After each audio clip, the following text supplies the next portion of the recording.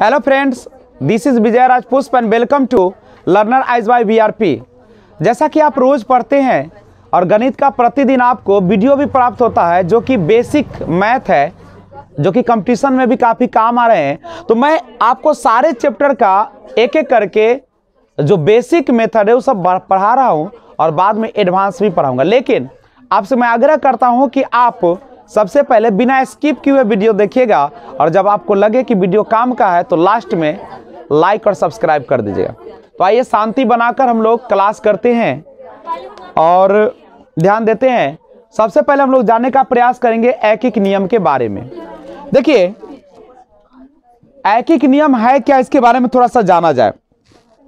कहता है कि ऐकिक नियम जो होता है, वह हमारे अंक गणित का मूलभूत सिद्धांत है, जो मुख्यतः समानुपात की संकल्पना पर आधारित होता है। समानुपात माने क्या होता है?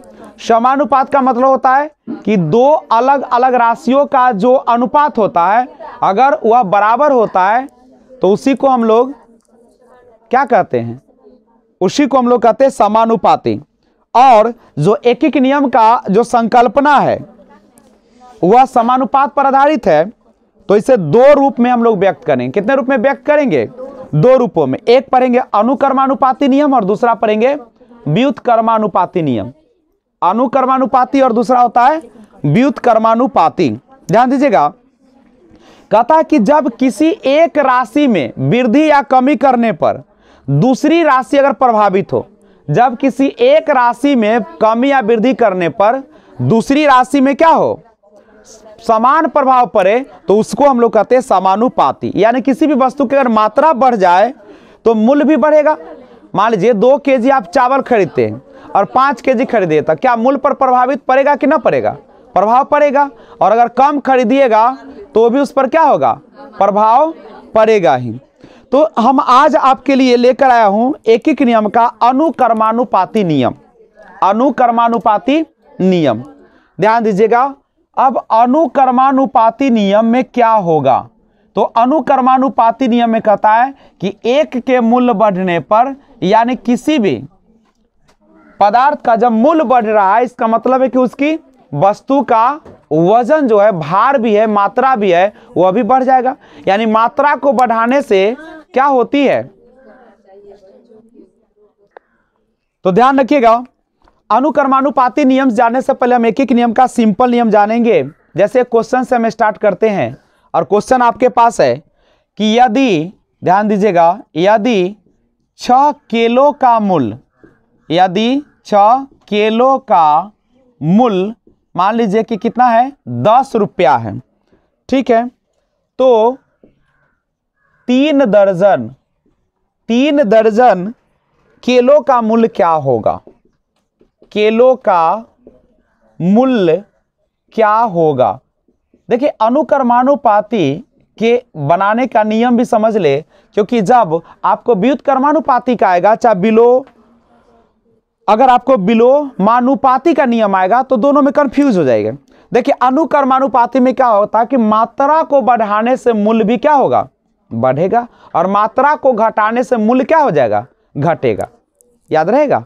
कि मात्रा बढ़ेगा तो मूल्य बढ़ेगा और मात्रा घटेगा तो मूल्य भी घटेगा। ये अनुकर्मानुपाती नियम कहता है। ठीक है? तो गौर कीजिए, अब आपके पास है इस तरीके के क्वेश्चन तो एक एक नियम से अगर बनाएँगे सिंपल नियम तो कैसे लिखते हैं? छ किलो का मूल्य कितना रुपया है? मूल्य दस रुपया है। यही ना आपका?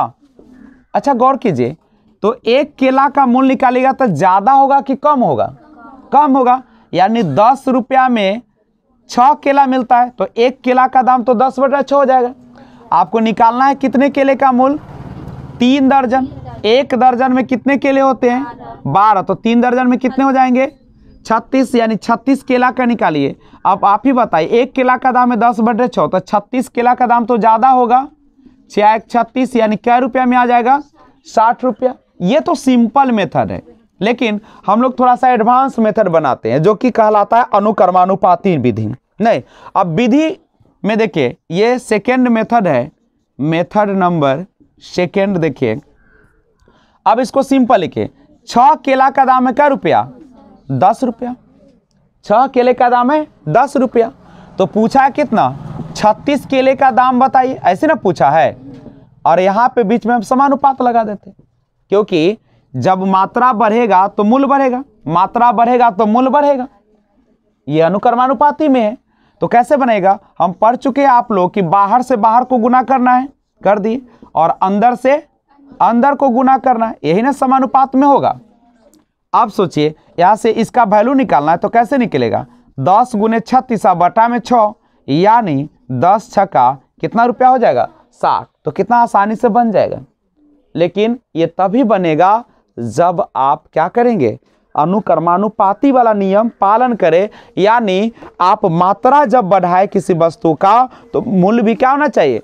बढ़ना चाहिए। और मात्रा को घटाने पर मूल्य क्या होना चाहिए? घटना चाहिए। अगर यह पालन करता है तो आप इस समानुपात नियम लगाएँगे, अन्यथा नहीं लगाएँगे। तो सबसे पहले आप इसका स्क्रीनशॉट ले लीजिए। और एक और चीज़ समझिएगा, ज्ञात की जाने वाली राशि को दाएँ तरफ़ लिखेगा और फिर एक वस्तु का मान ज्ञात करते हैं और अंत में उतनी इकाई का मान ज्ञात करते हैं जितनी पूछी गई है। और प्रथम बाएँ तरफ़ वाली राशि भाग में तथा अन्य गुना में हो जाती है। नहीं, दूसरा विधि जो आपने देखा, अनुकर्मानुपाती विधि, ठीक है? इस विधि से भी आप इस क्वेश्चन को क्या कर सकते हैं? सॉल्व कर सकते हैं। तो अनुकर्मानुपाती विधि जो होता है वह आपको क्या करती है? आसानी होती है। एक और विधि अगर चाहते तो मैं सिखा सकता हूँ और उसको भी हम लोग सीख ले तो ज़्यादा बेहतर होगा। नहीं, लेकिन ज़्यादा मेथड भी सीखने से आपको ज़्यादा फ़ायदा होने वाला नहीं है। तो मेथड थ्री भी चाहते हो तो हम सिखा देते हैं।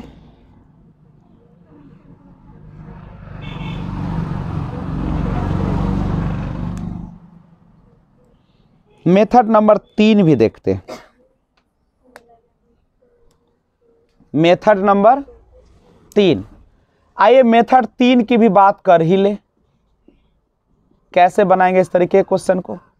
मेथड तीन कहता है कि पहले मात्रा को रखिए। केला है मात्रा, कितना है? छ है और छत्तीस है। उसके बाद रखिए मूल्य को। मूल्य कितना है? दस। और इसमें दिया है क्या कुछ? नहीं। तीर ऐसे चलाए, नीचे वहाँ अब क्या कीजिएगा, जो संख्या तीर के पास है, जो संख्या कहाँ पे है? तीर के पास है, उसको रखा जाए ऊपर। तो तीर के पास यहाँ देखिए, कौन है? एक्स है तो ऊपर रख दिए। तथा बिना तीर वाली संख्या कहाँ रखी जाए? नीचे। इस तरीके से इसमें भी तीर वाली संख्या ऊपर और बिना तीर वाली संख्या नीचे।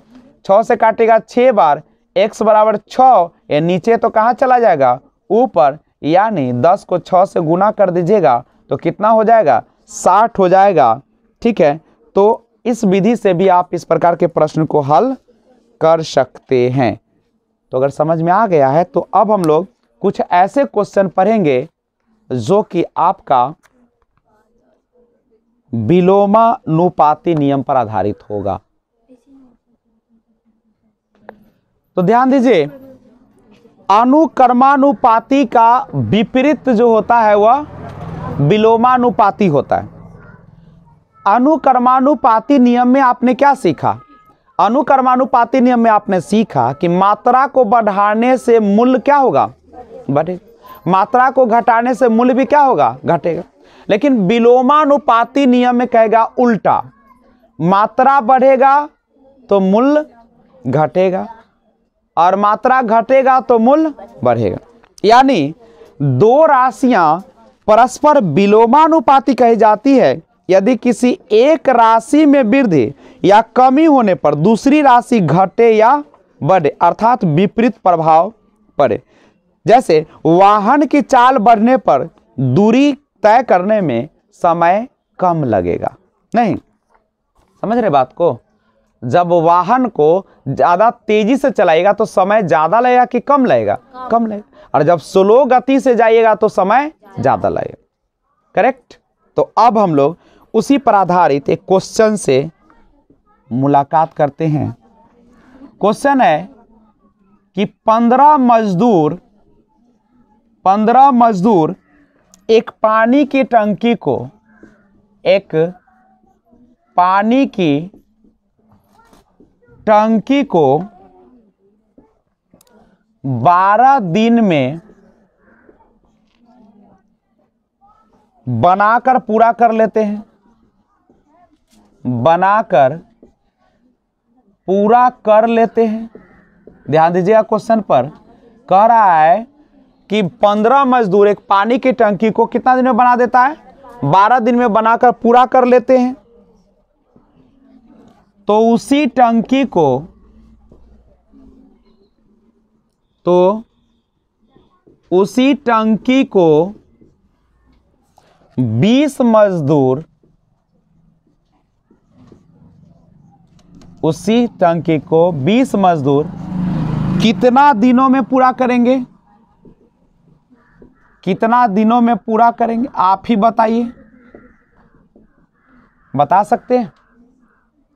आप ही बताइए। जब पंद्रह मजदूर बारह दिन में बना देता है तो बीस मजदूर को बनाने में कम समय लगेगा कि ज़्यादा लगेगा? कम लगेगा। उल्टा चल रहा है ना?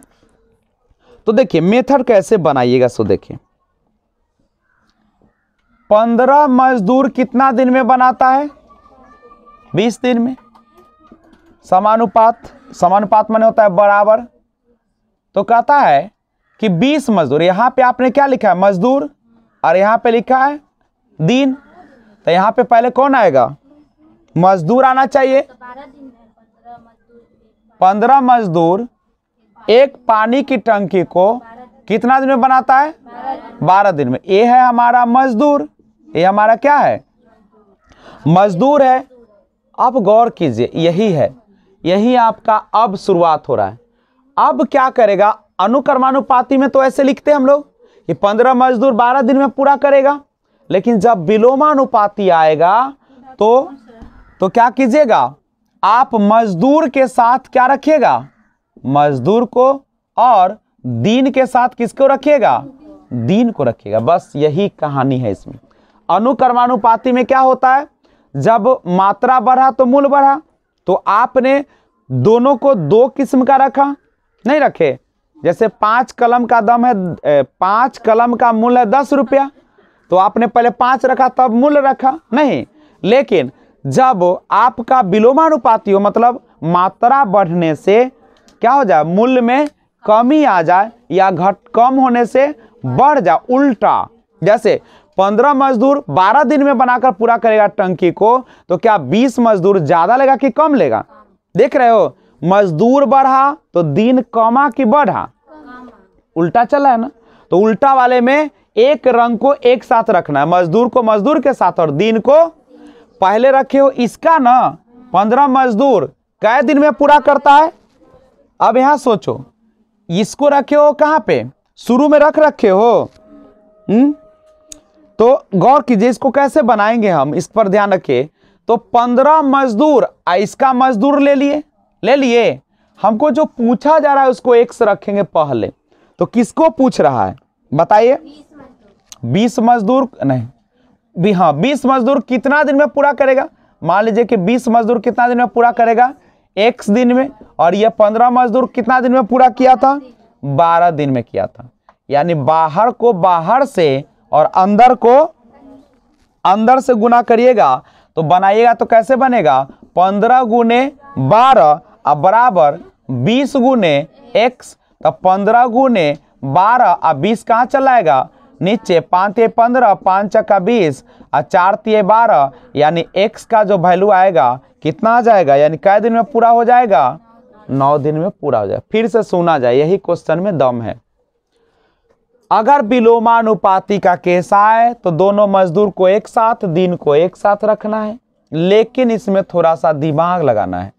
जिसका मजदूर उसी का दिन होना चाहिए बगल में। इसका मजदूर इसका। लेकिन इसमें अगर आपको ज़्यादा परेशानी हो रहा है तो ऐसा करिए, मजदूर और दिन को बराबर कर दीजिए। मजदूर वन, मजदूर दिन वन, मजदूर टू, दिन टू कीजिए। अब देखिए यहाँ पे।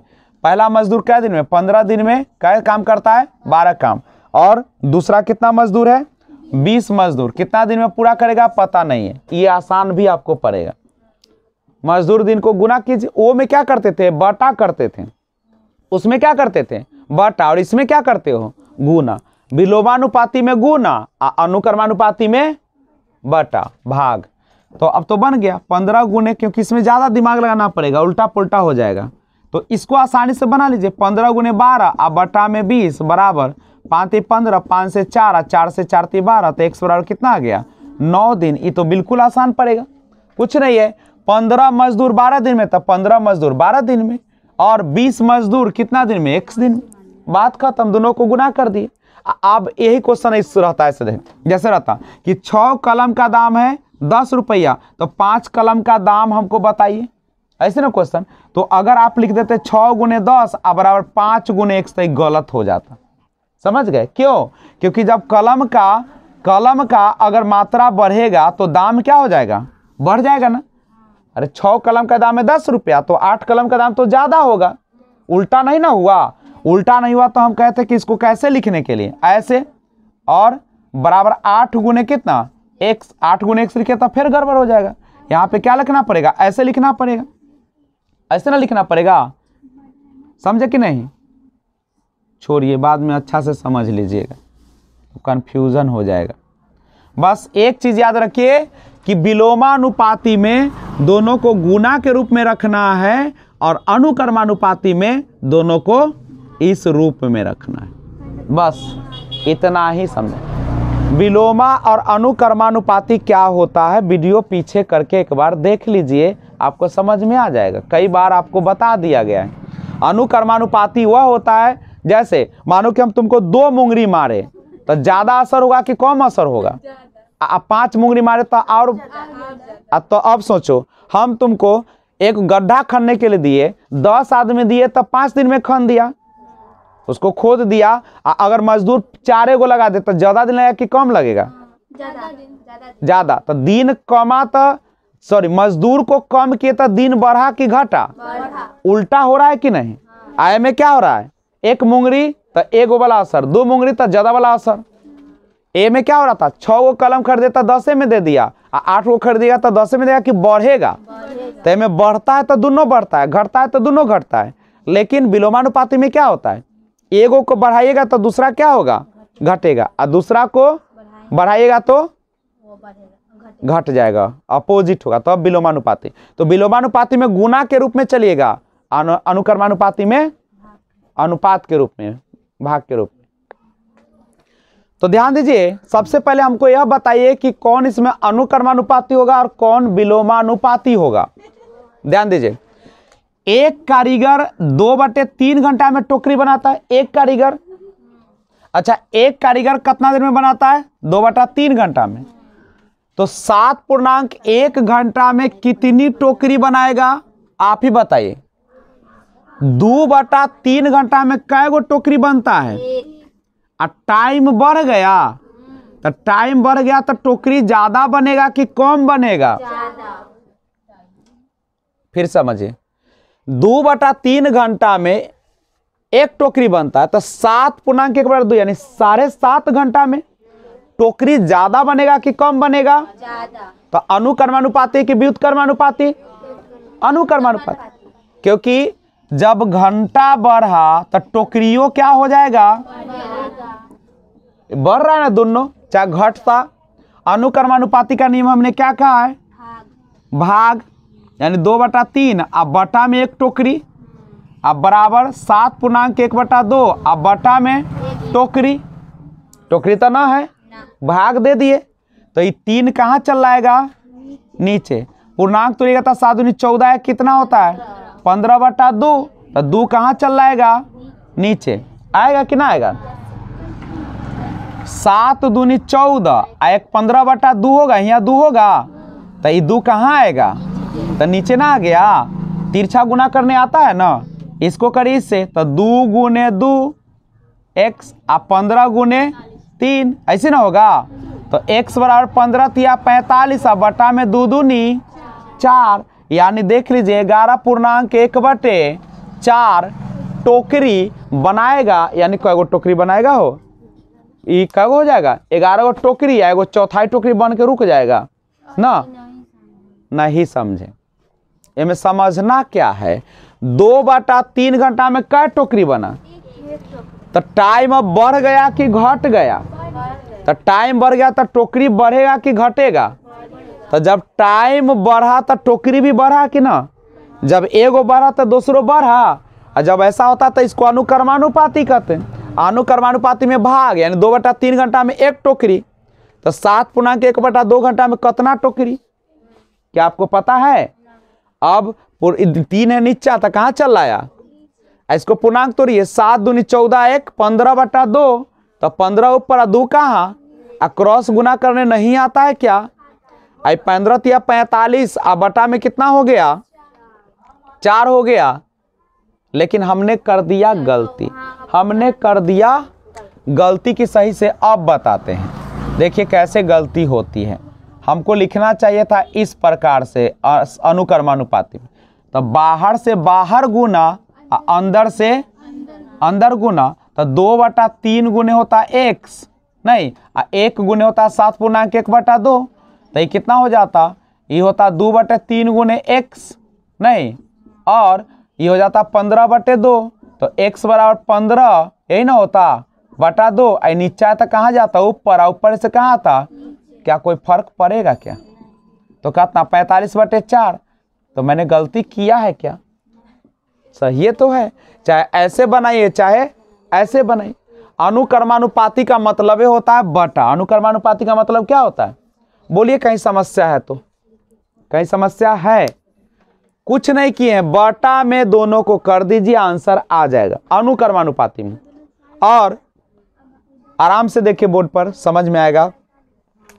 अब इसको समझिए। एक मानचित्र में, एक मानचित्र में, अगला क्वेश्चन देखिए। एक मानचित्र में यदि ज़ीरो दशमलव आठ सेंटीमीटर आठ दशमलव आठ किलोमीटर वास्तविक दूरी को दिखाता है। यानी ज़ीरो दशमलव आठ सेंटीमीटर कितना को दिखाता है नक्शा पर। आठ दशमलव आठ किलोमीटर।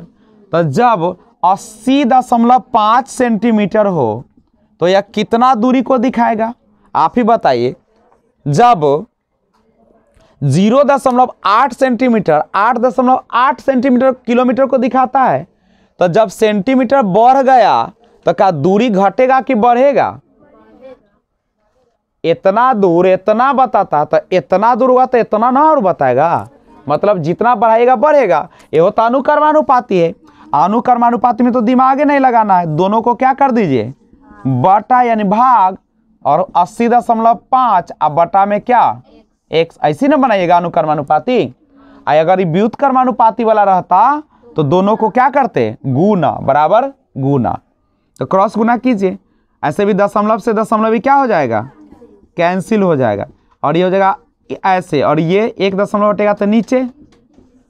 क्रॉस गुना करने आता है। इसको इससे गुना कीजिए। आठ गुने दस, एक्स बराबर आठ सौ पाँच। आ गुने कितना? अट्ठासी तो कितना हो जाएगा? एक्स का वैल्यू निकालना है तो आठ सौ पाँच गुने अट्ठासी आई कहाँ चलाएगा दोनों? नीचे। काट दीजिए। आठ से कटेगा ग्यारह बार। नहीं। और और काटने का मन कर रहा है, नहीं काटिए तो आसान होगा। क्योंकि नीचे जब ज़ीरो रहे तो मत काटिएगा। नीचे ज़ीरो रहे तो मत काटिए। ग्यारह पच्चे पचपन, ग्यारह आठ अठासी, ग्यारह आठ अठासी, ग्यारह पच्चे पचपन के पाँच, हासिल पाँच, ग्यारह से ज़ीरो में कीजिएगा तो ज़ीरो और पाँच जोड़ेगा तो पाँच। बटा में दस, एक गुना ज़ीरो है नीचे। कितना ज़ीरो है? तो इधर से कै गिन लीजिए, एक यानी कितना किलोमीटर को दिखाएगा? आठ सौ पचासी दशमलव पाँच किलोमीटर। अनुकर्मानुपाती में अच्छा एक और क्वेश्चन देखिए तो बनाइएगा। मान लीजिए कि छ छः मजदूर किसी काम को करता है पंद्रह दिन में, गौर कीजिए क्वेश्चन पर देखिए। छ मजदूर किसी काम को करता है पंद्रह दिन में तो बताइए आठ मजदूर कितना दिन में करेगा? आप ही बताइए। छ मजदूर करता है पंद्रह दिन में तो आठ मजदूर को ज़्यादा समय लगेगा कि कम समय लगेगा? तो मजदूर बढ़ा तो दिन घटेगा कि बढ़ेगा? घटेगा। उल्टा चला। जब दिन बढ़ा सॉरी जब मजदूर बढ़ा तो दिन भी तो क्या होना चाहिए था? जब दिन बढ़ा तो मजदूर अगर बढ़ जाता तो अनुकर्मानुपाती। जब मजदूर बढ़ा और दिनों बढ़ जाता तो अनुकर्मानुपाती। लेकिन यहाँ पे मजदूर बढ़ा लेकिन दिन क्या हो गया। तो बिलो मानुपाति या व्युत कर्मानुपाति? और जब व्युत कर्मानुपाति तो हमने सीधा कहा, क्या कर लीजिएगा? गुना करिएगा। छह मजदूर कै दिन में करता है? पंद्रह दिन में। तो आठ मजदूर कितना दिन में करेगा? डायरेक्ट गुना कर दिए। ए में करते थे बटा, ए में करते हैं गुना तो कितना हो जाएगा? छः गुने पंद्रह बट्टा में आठ। तो दू तिया छः और दू चक्का आठ। तो पंद्रह तिया पैंतालीस बट्टा चार। यही ना होगा? समझ में आया? अनुकर्मानुपाति और व्युत्कर्मानुपाति यही है अंतर। अनुकर्मानुपाति में बटा में लाइएगा और व्युत्कर्मानुपाति में गुना में लाइएगा तो इसका अगर चाहते हो कि और स्टैंडर्ड क्वेश्चन मिले कभी कभी जो होता काफ़ी लंबा क्वेश्चन रहता है। जैसे, पाँच व्यक्ति पाँच दिन में पाँच टोकरिया बन, बुनता है और क्वेश्चन आगे और दे दे कि छः आदमी छह टोकरी को बुनने में कितने दिन लगाएँगे तो अब बढ़ेगा। तो बढ़ेगा तो कैसे हल करेंगे सवाल को? अगर जानना चाहते हो तो क्या करो? सबसे पहले इस चैनल को सब्सक्राइब कर दीजिए और बेल आइकन को ऑल पे ज़रूर प्रेस कीजिएगा, जिससे अगला वीडियो जो मैं लेकर आ रहा हूँ, काफ़ी इंपॉर्टेंट वीडियो है, जिससे काफ़ी क्वेश्चंस भी आपको पूछे जाते हैं। ये तो सब बना लेता है, लेकिन उसमें थोड़ा सा आपके जानकारी की ज़रूरत होती है। तो फिर मिलते हैं एक और वीडियो के साथ। तब तक take care bye bye thanks for watching